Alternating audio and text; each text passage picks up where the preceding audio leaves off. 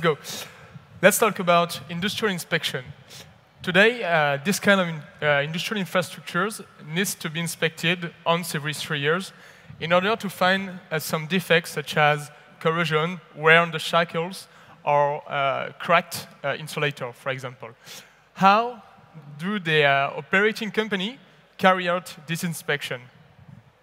Today, they use helicopters to carry out this, and it's very expensive. It's more than 8,000 euros a day in order to fly over the, the, the electrical grid. And this generates more than 50,000 pictures just for 1,000 kilometers inspected. And just guess that there, is, there are more than 100,000 kilometers inspected each year uh, for the electrical French grid. So, what, what is the solution basically to, uh, to, to, to, to answer this problem? Drones, maybe, but today there are still some problems with drones. Because have you ever tried to uh, fly uh, at 80 meters above ground around some complex structures, um, taking into account a complex environment such as vegetation, uh, such as uh, electrical cables, building, etc., and wind, uh, up to 40 kilometers per hour, for example, it's not easy at all. So Sterblue has a solution to answer this problem.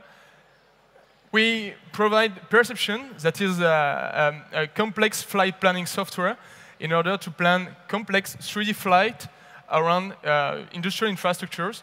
So you can provide uh, 3D obstacles, for example, uh, the, the, the, picture resolution you want to get, uh, the, the, angle of the pictures, uh, the, the um, eh, basically you can do whatever you want with this tool in order to, uh, to plan your flight.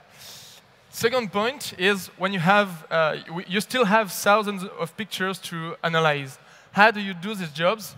With uh, Curiosity. Curiosity is our deep learning platform in order to automatically analyze uh, defects on the industrial infrastructures.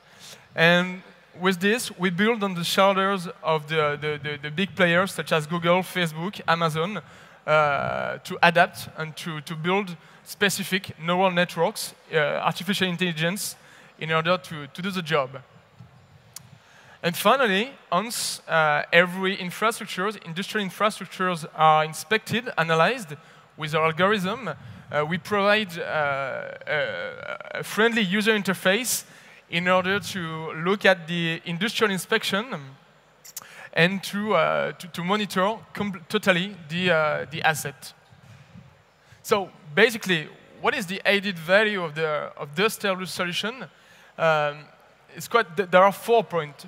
The first point is productivity. We can expect more than 40% rise in productivity. Uh, then exhaustivity. We guarantee that the uh, entire uh, infra industrial infrastructures is taken into pictures uh, flight after flight.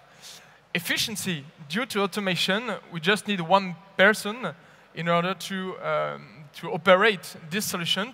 The payload uh, management and the flight are automatically managed. And finally, safety. Safety of the, uh, for, for, the drones, for the people, and for the industrial infrastructures due to uh, automation.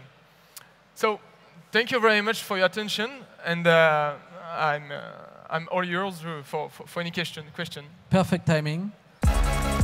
Thank you, Geoffrey. And maybe Remy and Philippe, you, you will have some questions. Yeah, maybe first question uh, about your team. How many people are working in your team, and uh, uh, where are you at uh, on your working plan? Yeah, sure.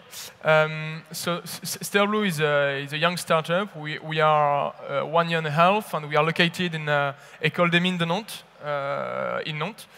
And we are eight people at the moment, and uh, three, uh, three co-founders uh, with data scientists, embedded system engineers, full stack developer, etc. Do you have pilots also? we, we have pilots uh, for, for, for, to demonstrate to customers, to prospect what we can do. We have pilots, but this, uh, this won't be our job in the future to, uh, to operate this uh, solution. What, what are your main problems, the main issues that you have to solve right now? Um, now our main uh, concern is to improve our solution, our prototype, to bring it to a product step, because um, we, we have raised um, almost every technological big issue at the moment. So now the big challenge is to, uh, to, to, to switch from prototype, functional prototype, to product for customers. Hi, uh, um, I have a few questions, practical questions. Um, how far can you go? Yeah, uh, today the, the, question is not really how far can you go, but how far regulation allow you to go. That's my second question. That's the second question. Um, so uh, with this kind of, uh, if you want to inspect electrical grid, for example, pylons, you can go with regulation under two kilograms uh, up to five to six kilo kilometers with this kind of machine, stationary flight machine.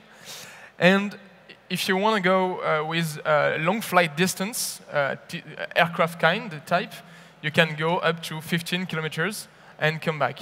Um, so it's less than helicopters, but it's yeah. But it's uh, it's quite cheaper. So sure. you just need more time, but at the end the job is done as well. So that's technical limitations. How about uh, civil authorities regulation uh, as far as flying is concerned?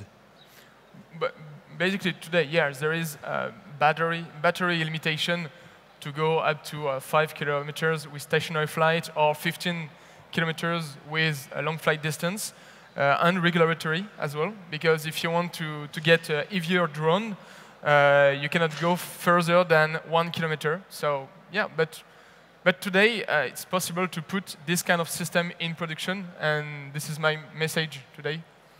So. Okay, so I'm sorry, but we are running out of time. Okay, thank you so much, Geoffrey. Thank you very much.